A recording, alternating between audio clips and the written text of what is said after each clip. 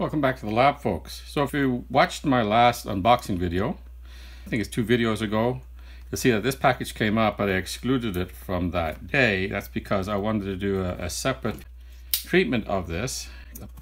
Be sure I know what this is. Yeah, I don't know how to get into it, but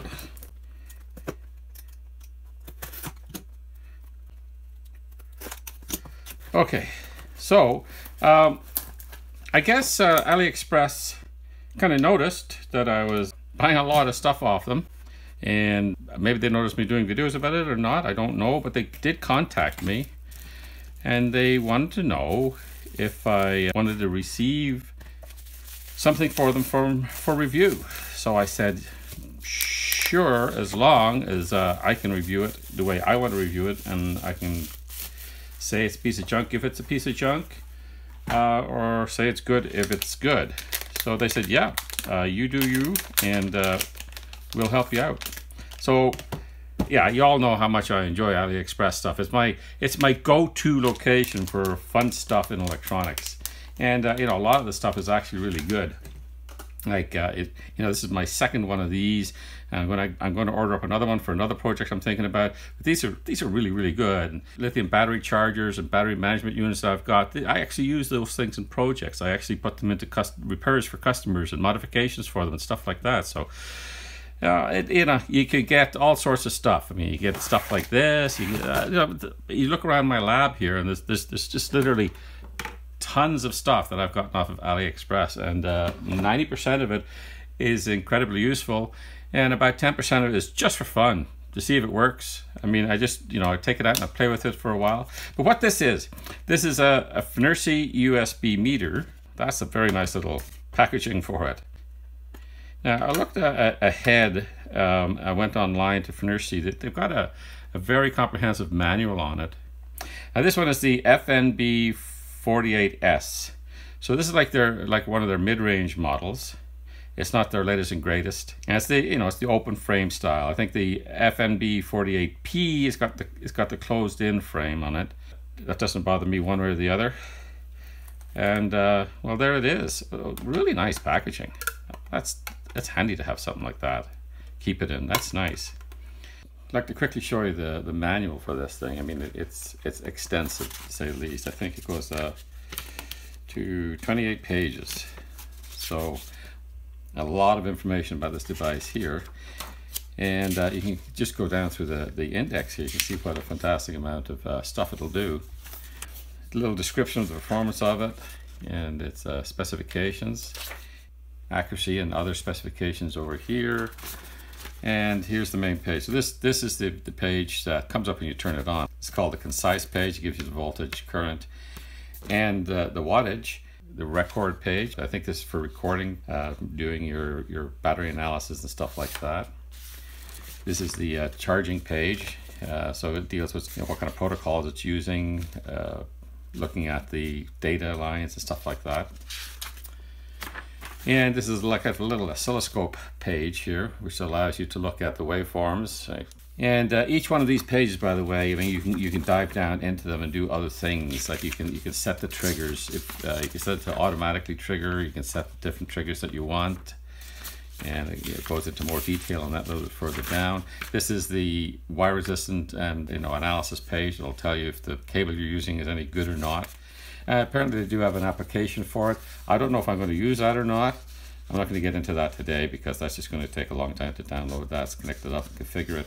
You can also change the language, change the wake up, Bluetooth switch. Mine doesn't have Bluetooth. Mine's the one without Bluetooth, so I don't have to worry about that. Gravity direction recognition. Yeah, this is a handy feature.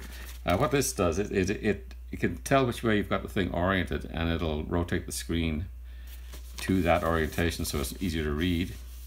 Uh, there's no way I can give this this thing a full treatment. It would take hours to go through all of this stuff. If you're interested at all, what I would suggest you do is uh, get online to FNIRSI, download this manual, have a look through it. Going to give you far more information than I'm capable of giving you in a short review here. But uh, let me set up to have a look at the device here. I'll be right back. Okay, so here's a look at the back of it. And you can see it's got, uh, well, you can see that it's got the Type A input, Type C input, micro USB in, Type-C output. Uh, it's a switch there to switch your PD detection on or off. There's your PC ports. Uh, and here's your controls. And this is your navigation button. This is the back navigation. So you get into a menu, you click this and put you back out. And of course we got a USB output port here. Okay, plug it in. I guess that's the boot screen there. Okay, so here's your standard screen. This is the concise page. So this just gives you voltage, current, and wattage. And I think if you press this button here, it gives you an extra digit of resolution. Next page here. So this here would be the record page. So it looks like I've got a, a language problem here and I need to go back to here and I think what was it? Language is the sixth one down 06 there so let me get in there and go down to language select English click OK. That's better. Now I can read that. All right so we're in here we're in here now. So that's it's display brightness standby brightness. So that's the level that it goes down to in standby. You can adjust that adjust the time before it goes into standby data transmission, that's the data coming out to the PC through here. The temperature symbol, I think that's just uh, degrees C or degrees F. Yeah, degrees C is what I like. System language, we just we know that one. Auto wake up, Bluetooth, I don't have. G sensor setting, so you can either have that on or off. I think, yeah, I like it on. 4.97 volts in it. Let's get a little load on it, see what it does. So let's hook it up here. Let me turn up the load here a little bit. So let's see, we go up to an amp here. That's not getting too warm at that. So let's see, then we'll switch it into the more sensitive mode and they should just leave it like that. Okay, we'll go over here to this page here. It looks like group 8 out of 10 is selected and so I guess you could start recording at this point here and it is recording. I don't know if you can see that or not, but uh, uh, I hope this can, will focus. Right down there in the yellow, the watt hours are accumulating. And it is accumulating information into group 8. And we've got a, a reading here of minimum, maximum, average for both, uh, for all three, the current, the voltage, and the wattage. All right, let's go to the next page. Trigger's off, so it's not recording anything on the trigger at this point in time.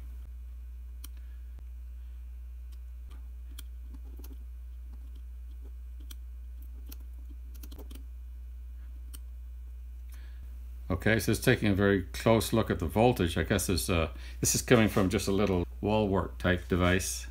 So it looks like there's some 60 or 70 millivolts of noise on it. And see how that changes as we change the current. So the current goes down, yeah, the noise goes down. Very nice. I was led to believe by reading the manual that once you're in this mode, using control will allow you to speed up or slow down the sweep. That's what it says here.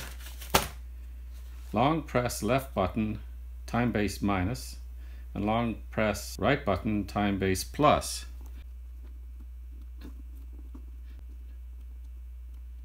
That's not what it's doing, it's just cycling through the different functions. Yeah, this control here is, is not very user-friendly. So I press down and then rotate it. Misreads it, I'll press it down and then rotate to that direction rotate that direction yeah it's not a it's not an extremely user-friendly little um, control there so here now we have the voltage at the bottom the current up at the top and if we bring the current down so it looks like it, it, it automatically rescales things that might not be a great idea because it's just you know moving stuff all around the screen I thought that would be a lot nicer than it is, but if I can't slow it down from here, it's not going to be that handy to me. And it's auto ranging, drops things around all over the place.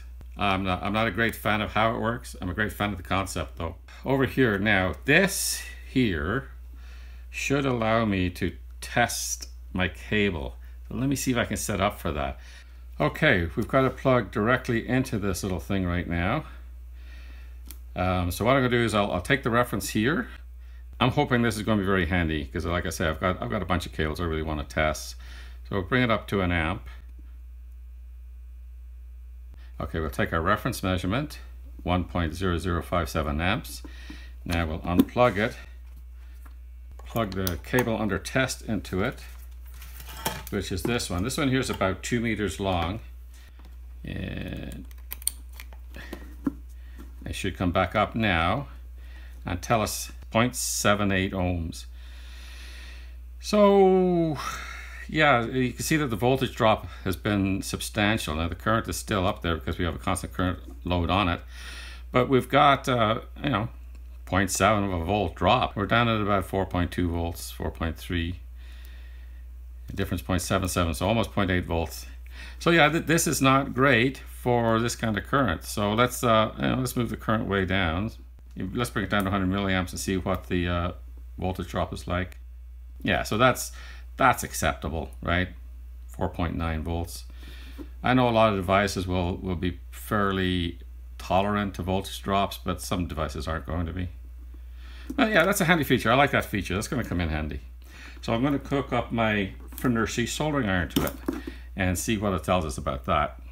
Okay, the FNIRSI iron is plugged in. I have it here. It's in standby mode. Oh, it says low voltage. So it's not, it's not actually doing the PD trigger. Enter trigger high voltage. Let's say OK. Protocol detection. So we do notice it comes up here as QC2 and it comes up and this boots up properly. So now we can just go back here. Okay, so we'll go down to Qualcomm QC2, select that. We'll put it up to 20 volts. Maybe I have to restart this. Yeah, there we go. Okay, so you have to restart the device so it can communicate back and forth. That makes sense. All right, so um, what if we get out of here? Let's turn this on. 12 volts, drawing 1.7 amps, 20 watts, even though we're supposed to be at the 20 volt range here. I don't know what's going on there. Do I have the iron set up for 12 volts?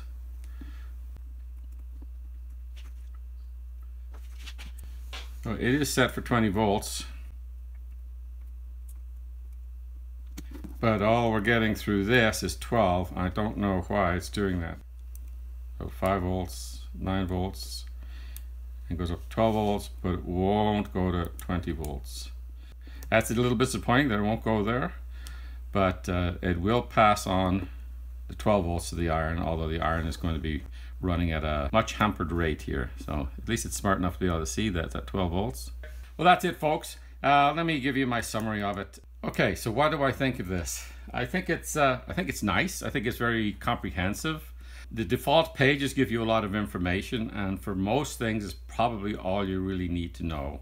Uh, but you know, for for this here, the the charging, uh, you know, this is not a situation where we're actually dealing with with charging, so that might be the whole problem with it. But this page, this page, the default page here, which I really wish was just in six digit mode anyway. And of course, this little graph page here in its default mode is fine.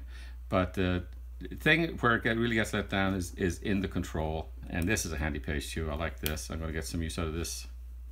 But the, the controls need to be updated or changed. Maybe they are in the more recent models. I know there's a, a new higher end model than this one. And uh, maybe they've, they've fixed all that stuff in that one.